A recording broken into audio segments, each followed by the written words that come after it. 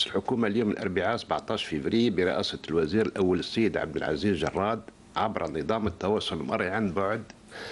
تمت خلال هذا الاجتماع دراسة ومناقشة عروض ومشاريع مراسيم تنفيذية تتعلق بالقطاعات التالية. الطاقة النقل الصيد البحري والمنتجات الصيدية. في تدخله قدم وزير الطاقة مشروعي مرسومين تنفيذيين يحددان الأول كيفية حساب مبالغ التسديدات الشهرية المؤقتة التي تعتبر تسبيقات على الضريبة على دخل المحروقات. والثاني كيفية حساب التسبيقات المؤقتة للضريبة على مكافأة الشريك المتعاقد الأجنبي. يندرج هذا الإجراء في إطار تفعيل القانون المنظم لنشاطات المحروقات لسنة 2019 بالنسبة للنص الأول فهو منظم بشكل يقدم لمحة عامة حول حساب الضريبة السنوية على الدخل المحروقات لكل مساحة استغلال التي يغطيها امتياز المنبع أو عقد المحروقات ويتم الدفع حسب الحالة من قبل المؤسسة الوطنية أو من قبل الأطراف المتعاقدة.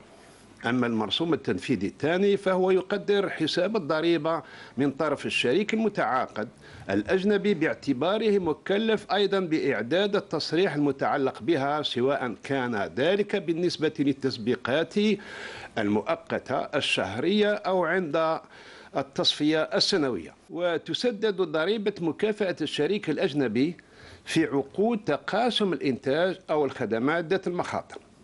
ثانيا خلال ذات الاجتماع قدم وزير النقل مشروع مرسوم تنفيذ يتضمن وضع منصة المجتمع المينائي لتبادل البيانات الرقمية.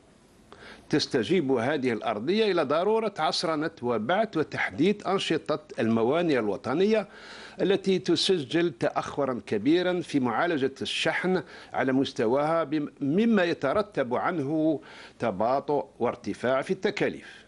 تسمح هذه المنصة بإلغاء الطابع المادي للوثائق والإجراءات وآلية العمليات المطلوبة للعبور المينائي للبضائع وهي تتميز بمكانتها ودورها كوسيط وحيد لجميع المتدخلين بتحقيق مكاسب معتبرة من حيث الوقت والتكلفة والوسائل لكافة الأنشطة المينائية.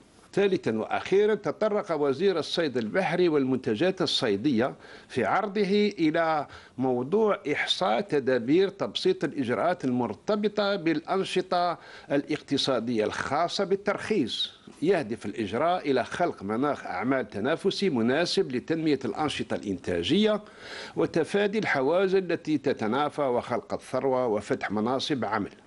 في ختام الاجتماع أكد الوزير الأول السيد عبد العزيز جراد على أن تخفيف وتقليص الثقل الإداري والبيروقراطي أولوية الأولويات وسيكون هذا الإجراء موضوع نصوص إجبارية.